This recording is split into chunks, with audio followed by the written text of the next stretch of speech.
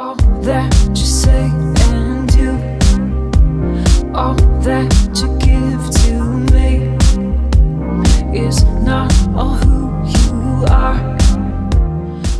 So the song What You Deserve was actually written when I was driving home one night from the studio. I was just driving around feeling really excited about everything that was going on in my life, everything that was happening with, with music, but at the same time I was very discouraged in other ways because there was opportunity that was happening, but then there was a lot of discouragement that had happened with it. And so I uh, I was just driving around and I was just praying, and I, I, felt like, you know what? At the end of the day, what I really want to come out of out of this whole project is I, I want God to get the glory, and I want His name to be made famous. And so the line, "We give you what you deserve. Uh, if we really know what you're worth, we'll give you what you deserve." That just kept coming to me over and over and over, and I started to sing it, and I it just sort of just became this anthem. For the music for What You Deserve, I was very inspired by a lot of classic rock. Always loved big 80s drums.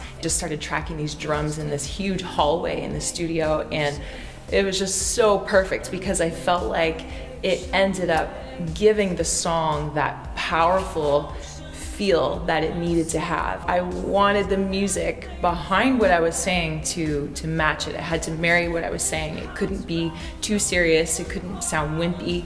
And so uh, I'm really happy with how it turned out.